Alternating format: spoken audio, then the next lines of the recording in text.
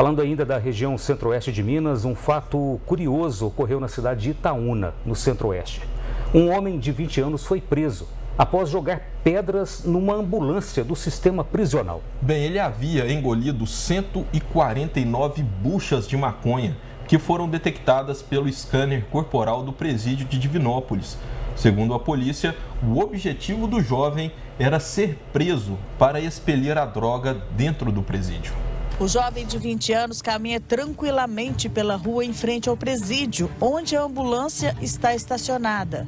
Na sequência, ele tira uma pedra do bolso e joga no para-brisa do veículo. O rapaz apanha a pedra no chão e atira mais duas vezes.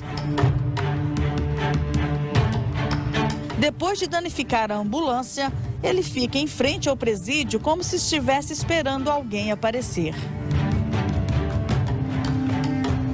Assim que os policiais penais surgem, o jovem que tinha saído do presídio no dia anterior se joga no chão com as mãos na cabeça.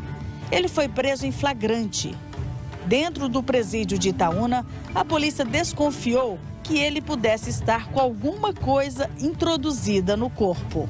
O rapaz foi trazido aqui para o presídio Floramar em Divinópolis para passar pelo scanner corporal. O equipamento comprovou a suspeita de que ele estava com droga dentro do corpo.